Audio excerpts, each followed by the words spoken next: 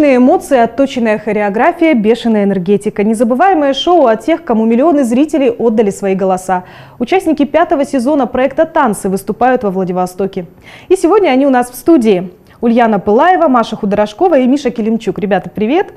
Рады приветствовать вас у нас в городе, у нас в студии. Э, для начала, конечно же, для, для ваших поклонников. Хочу попросить рассказать немножечко о вашем участии в проекте «Танцы». Это очень известный проект, все его любят, все его смотрят. Вот, например, я знаю, что Ульяна неоднократно была его участницей.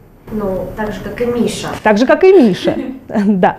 Давай, Миша, тебе слово. Ульяна так красиво передала. Слово берет Михаил Климчук.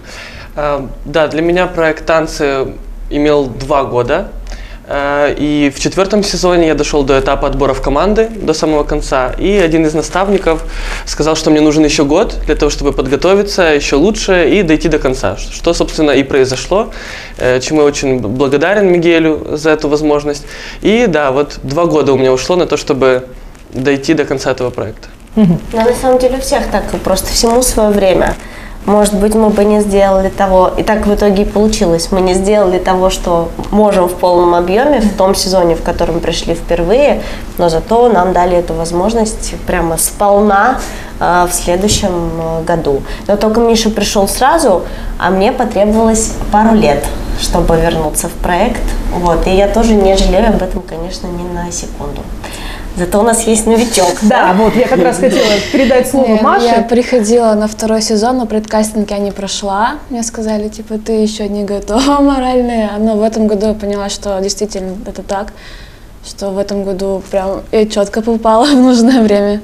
Но мне кажется, это вообще история неудивительная в творческой сфере, потому что даже многие известные артисты, да, как мы знаем, поступали далеко не с первого раза в актерские школы, и это абсолютно адекватная, нормальная история, и здорово, что педагоги да, не просто говорили нет и все, а давали шансы, вы понимали, что есть будущее да, в проекте, и как показала практика, так оно и получилось. Ну, хочу сказать в свою очередь, что когда смотришь проект, конечно, поражаешься тому, насколько вообще выкладываются там артисты, что они выдают. И для меня, конечно, фантастика, что вы говорите там. С первого раза я не показал все, что мог, и потому что, конечно, это определенный очень высокий уровень. Так вот, хочется поговорить о том, насколько все-таки морально и физически сложно участвовать в этом проекте.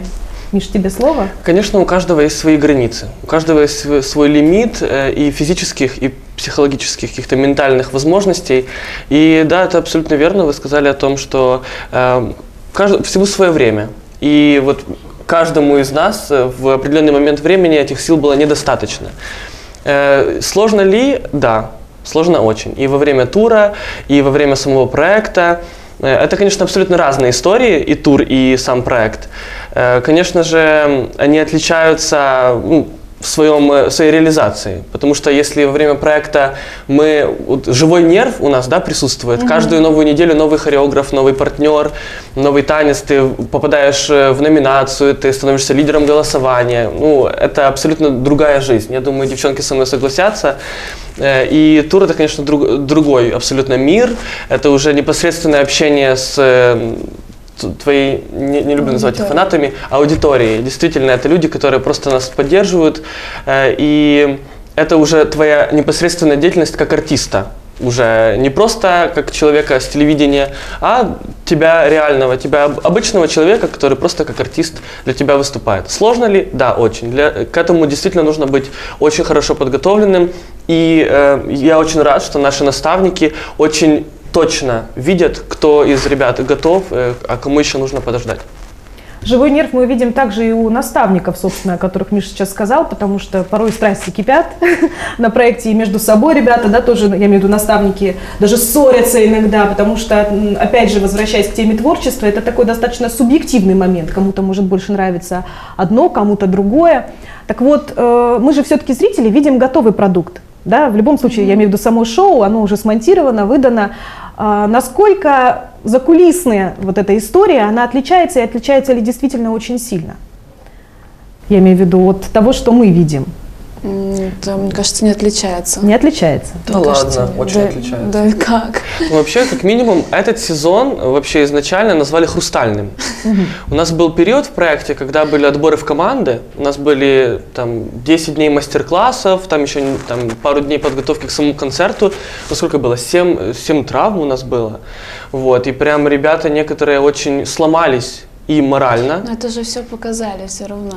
Нет, ну это был все равно такой немножко бэкстейджевый момент. Э, Там, да, была нарезка этих мастер-классов, но все равно, я считаю, это огромный вот прям пласт времени, который был за кадром, который никогда зрители об этом не узнают, и это только останется в наших умах, в наших сердцах. Ребята, не ходите в танцы, там люди мрут, там сложно, конечно, потом еще тур, это сложная жизнь. Не надо вам. Не ходите в этот проект. Стоит, стоит, стоит попробовать, правда, но, но будет... Все сложно.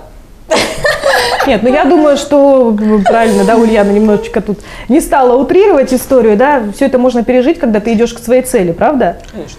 И стоит того эти потраченные нервы и силы. Да такой кайф. Да, там я вот с? Мишей на самом деле не согласна. Я не устала. Может, это, давай типа, так, может, это у Егора в команде Может были какие-то проблемы.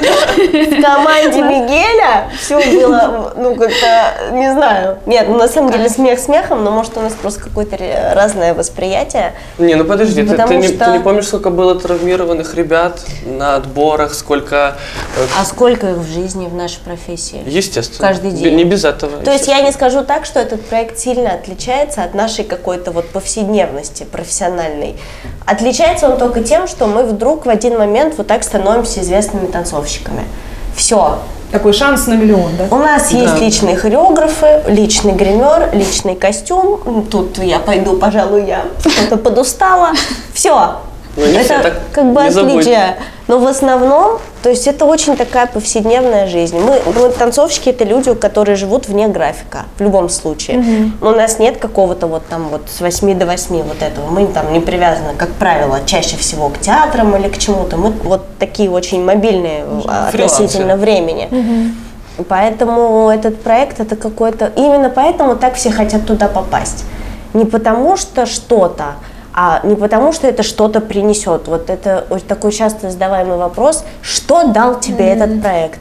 Да кайф, адреналин, бе- без просто какой-то безостановочный и какие-то вот такие пережитые моменты, которые, возможно, мы больше не проживем. Это опыт. Именно поэтому каждый, каждый, каждый год, кстати, в этом году уже объявили кастинг во Владивосток на шестой сезон. Поток с каждым годом танцовщиков все больше и больше.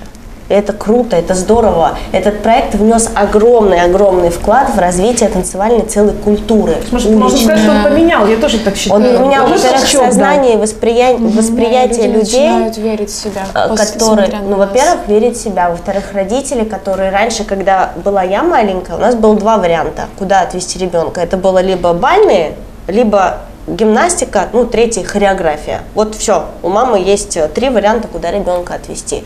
Сейчас все люди, которые смотрят этот проект и, в принципе, не имеют ну, какого-то отношения к танцам, они понимают, что это целая культура молодежная, которая вот так, как снежный ком, набирает обороты, и это становится престижно.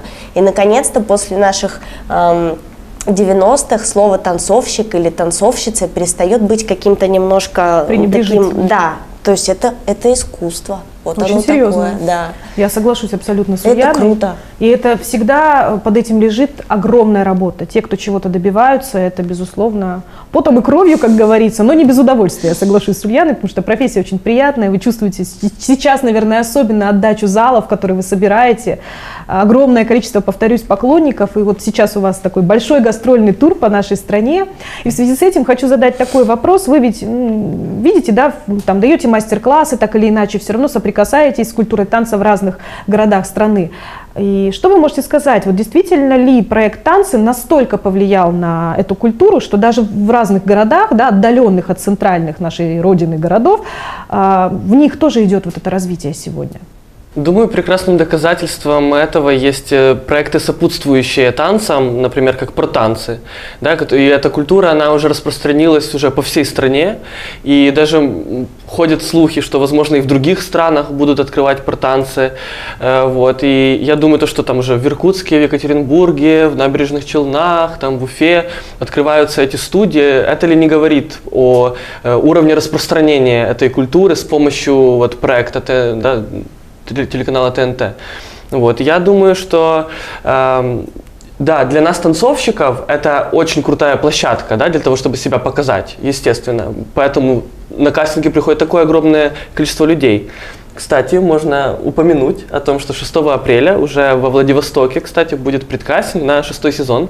Поэтому всех приглашаем, советуем. Но mm-hmm. очень сильно хочется сказать, что все танцовщики, которые работают в Москве, ну, большинство они же приехали откуда-то. Они приехали из других городов в Москву. И они приехали уже с тем оснащением и с теми навыками, которые они имеют, не, не находясь в Москве. То есть они где-то этому научились. Приобрели. Это да. круто. Вот, ну, например, такие люди, как ну, Маша. У Маши, да, у Маши какие-то вообще кос космические. Маш, поделись с нами. Стесняша. за тебя рассказываю. Стесняша, давай. Я протанцевала два года в театре современного танца у Ольги Поны и решила немножечко сменить деятельность и уйти из театра и попробовать в шоу. И я поняла, что мне это нравится, потому что это другие эмоции ты показываешь, и это совершенно другая среда, в которой ты находишься. Это классно. Угу. Вот. Вот эта гастрольная история, да, ваше шоу, не могли бы немножечко о нем рассказать, э, ваши эмоции, также в связи с этим мы немножечко уже затронули эту тему, но так как у нас вот во Владивостоке оно вот-вот состоится, хочется, конечно, чтобы вы поделились, э, рассказали о нем. Я думаю, каждый тур, каждый год отличается, ну, встречается мнение о том, что э, зачем прийти, приходить на концерт, если там, по сути, те же номера, что мы смотрели по телевидению, ну, во-первых, программа построена по-другому. Вот, там есть целых 30 номеров, которые переделывались специально для того, чтобы внести что-то новое, чтобы человек не пожалел о том, что он отдал как бы, эти средства, потому что я бы ходил. Я бы ходил и не один раз, потому что, мне кажется, каждый концерт, он новый. Мы, э, так, так сложилось, что и в этом году тур отличается тем, что у него есть и ведущий, Э, вот, мне кажется, это достаточно интересный формат, новый. Также я думаю, что стоит упомянуть о том, что э, каждый новый концерт, мы что-то сами для себя придумываем новое, чтобы самим не заскучать, так сказать. И мы там вносим какие-то интересности в номера друг друга там, и так дальше. И для нас это живой нерв. И зритель тоже чувствует, что каждый, э, каждый раз это не по накатанной, то есть для, что для нас это не рутина. Что вот это 14 город, это 24 город, э, так, уже хочется там поспать и так дальше. Каждый новый концерт для нас это событие. И для зрителей также. Какой-то интерактив с залом проводите? Да. Михаил Вообще у нас, да, у нас есть ведущий в этом году Миша Килимчук собственной персоной. Да.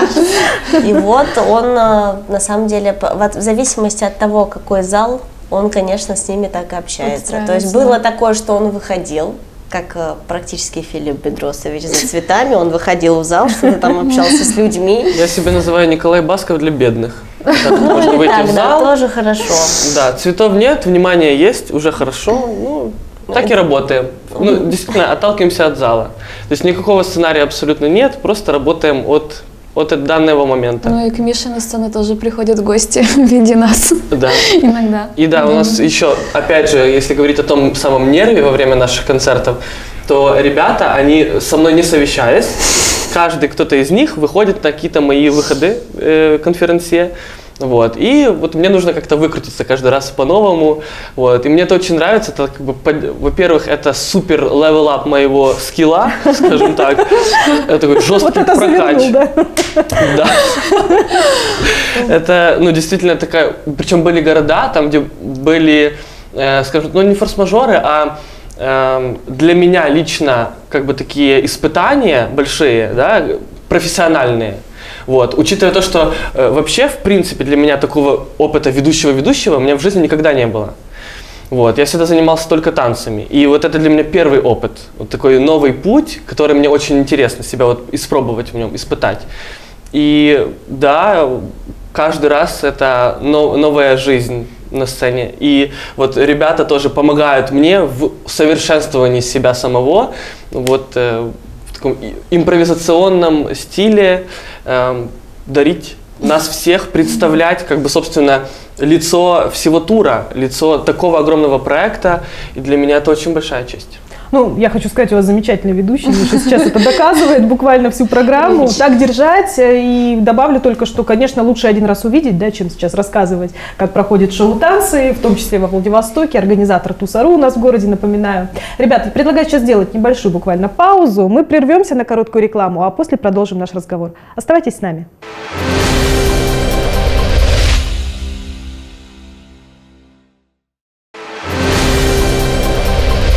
А мы продолжаем наш разговор.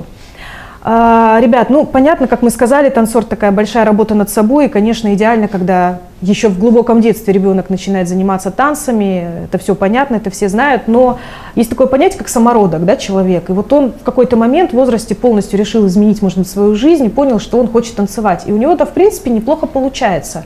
Может быть, вы были свидетелями таких ситуаций там на проекте, я не знаю, или не на, не на проекте, и вообще стоит ли таким людям пробовать приходить на кастинг проекта танцы, как считаете? Шоу танцы это такая площадка, которая уже за предыдущие сезоны много таких примеров давала. Но вот я, наверное, и про себя могу сказать так же. Ну, я, и думаю, про многих очень людей. Э, все-таки, даже если человек приходит с самого детства в танец, все равно это желание родителей, естественно, поскольку ну, как правило, да, конечно. Я думаю, что только вот в возрасте там 13-14 лет уже ребенок может осознанно решить, что он хочет ходить конкретно. Да, тут, тут там... вопрос, о каком возрасте мы говорим. Да. Нет, я имею в виду такой уже основательный возраст, ну, то есть там 20 плюс, там 18 плюс, ну 18 это еще ну, все равно молодой человек, многие да? люди пишут, по-моему, всем в Инстаграме, что могу ли я пойти танцевать, если мне там 20-25 лет, ну ты говоришь, почему бы нет, все зависит как бы от тебя, от твоего желания. То есть, если человек будет работать, да, над собой, ну, опять скажем, же, скажем так, э, если это как, ну, это как актерская профессия, например, можно просто на утреннике, да, там что-то сыграть. Конечно а можно освоить профессию. В зависимости от тех а Вообще шоу танцы это ну как бы туда приходят профессионалы. И если человек прямо погружается в профессию, все равно ему нужно время на то, чтобы ее освоить. А для того, чтобы просто научиться хорошо двигаться и пойти на танцы, поняв, что вот я хочу, я могу и я умею это делать хорошо, это можно делать в любом возрасте. Кучу, кучу есть для этого примеров. Но, конечно, для, для освоения каких-то профессиональных техник и навыков э, все-таки, конечно, наверное, лучше пораньше понять, что это твое, угу. скажем так. Потому что наше тело это наш инструмент. Да. То есть у кого-то это да, голос, у кого-то это лицо, у кого-то это там гитара, у нас инструмент это тело. И оно такое, у него есть срок полезного использования. Поэтому Я стоит лучше пораньше об этом задуматься. После 25 уже сложнее садиться на шпагаты, да, и так далее. Ну, примеры есть. Примеры есть. Э, сложнее, но возможно. Да, да. То есть все возможно. Угу. В любом случае все возможно. Все равно это та профессия, которую можно так или иначе освоить в любом возрасте. Это абсолютно точно. Танец Просто это движение. Каждый из нас времени. может ходить. Если каждый из нас может ходить, он может танцевать. Сегодня появляется немало таких интересных современных направлений. Это естественно, как мы сказали, культура танца развивается, это замечательно. А, может быть, есть еще те вот совсем-совсем новые, о которых мы не знаем. А, давайте поговорим об этом. Какие выделяете сегодня вы, например, лично? Вот ваши предпочтения, Лена? Если честно, я э, вообще их не выделяю. Угу. Ну, то есть я, я не приверженец того, что надо танцевать в одном направлении. Кто-то, а, безусловно, есть люди, которые прекрасны вот в этом, им ничего даже больше не надо. Я танцую так, как я танцую. Я даже не знаю, как это объяснить. Ну, то есть вот, и поэтому я как-то не могу сказать, что есть какие-то направления, которые вот они особенно новые, особенно все равно у каждого, у всего есть своя база. Где-то это контем, где-то это хоп, ну, все равно, да, там, а это уже какие-то основные, да, такие вот прямо, какой-то все равно есть фундамент. А все остальное это уже просто дело годов, десятилетий, в которых мы живем. Нулевые, десятые, там. Влияние времени. Да, абсолютно угу. точно. Маш, твое мнение? Ну, еще влияние, оказывается, на то, что когда танцор занимается не только одним направлением, а нескольким, это все равно техника на тебя накладывается, появляется что-то новое. То тому, чему нет названия, например. Просто это твой стиль, получается, твой почерк. Вот, да, да угу. абсолютно согласен. Если мы говорим про современный танец, в любом случае это техники. Это просто набор техник, Слияние, да, и с каждого ты берешь что-то для себя. И уже можно отталкиваться даже от того, что шоу-танцы – это э, шоу про универсальность. Угу. Это шоу про универсальность и образов, и танцевальных стилистик. И, конечно, нет, я считаю, нет смысла идти с каким-то одним направлением. Да, если ты даже супер крут, это будет крутое выступление на кастинге. Но дальше по проекту сложнее. намного сложнее будет двигаться. И поэтому, естественно, человек, который хочет прийти на проект, он должен освоить э, как минимум какие-то базовые, да, там, э, чтобы взять оттуда фундамент, чтобы с тобой могли работать хореографы. И если мы говорим про современный танец, конечно же, это свой стиль, это же свой почерк. Да, Ульяна абсолютно четко сказала о том, что есть э, базы, там джазовые и так дальше, можно очень много пере, mm-hmm. их перебирать, но э, важен, важен свой почерк. Это то, что есть индивидуальность каждого танцовщика. Но для этого, естественно, нужно нахвататься, нужно иметь чем говорить. Всего действительно такая полезная информация. Я думаю, она, конечно, в каком-то смысле очевидная, но тем не менее, вы сейчас правильно абсолютно сказали, что человек, который хочет целенаправленно идти, например, в проект ТАРС или всю жизнь посвятить себя этому и добиться чего-то, он должен развиваться постоянно, да, и постоянно пробовать что-то новое. А, какие бы, может быть, вы еще советы дали начинающим танцорам, такие не, не по части техники, не по части даже, может, каких-то профессиональных моментов, а вот лично от себя, от души, что бы вы пожелали ребятам, которые хотят посвятить танцу свою жизнь? Я очень хочу пожелать ребятам, которые хотят посвятить танцу свою жизнь, себя полюбить в зеркале, прежде mm-hmm. всего. Как только в зеркале ты увидишь то, что тебе нравится, и то, что ты любишь, оно начнет двигаться, и как бы оно ни задвигалось, ты будешь кайфовать от этого.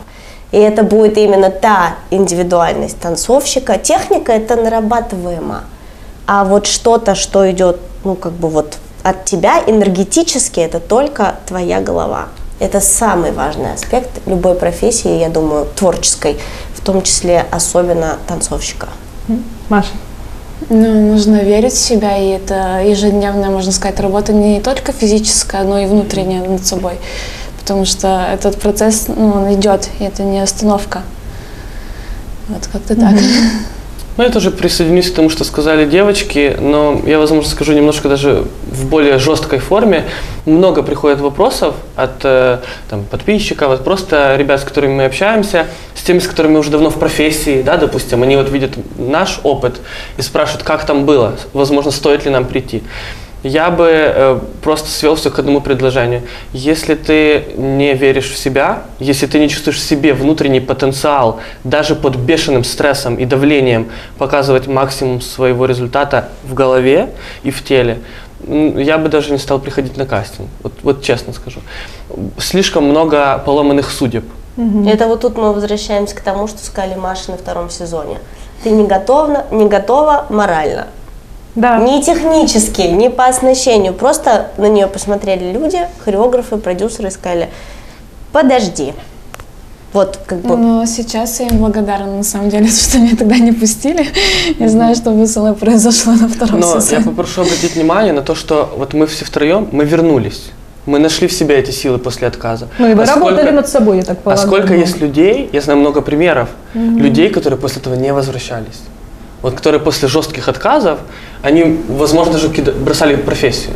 Это очень, ну, я считаю, что в этот проект должны идти действительно сильные люди, чтобы даже отказ с достоинством принять, пойти в зал, работать над собой и приходить еще раз и еще раз.